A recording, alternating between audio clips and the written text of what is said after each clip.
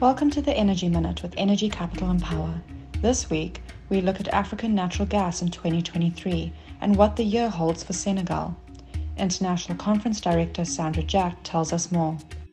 2023 is expected to be the year of gas for Africa, with a number of gas mega projects set to come online as part of the continent's efforts to maximize resource production, accelerate electrification, and ensure energy security and is one of the most exciting offshore prospects on the African continent, Senegal has come to the forefront of the future of African energy with giant discoveries in both oil and gas that are set to come online in 2023, completely transforming the economic landscape in the region. Straddling the maritime border of Senegal and Mauritania, the first phase of the Greater Tortue Ahmeyim development will come online in the fourth quarter of 2023 while Senegal's first gas-to-power project, the 300 megawatt Cap des Biches power plant will launch in the first quarter.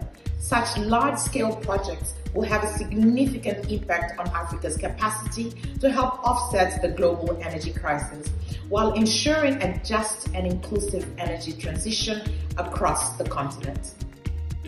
For more information about Africa's energy sector, visit www.energycapitalpower.com/news.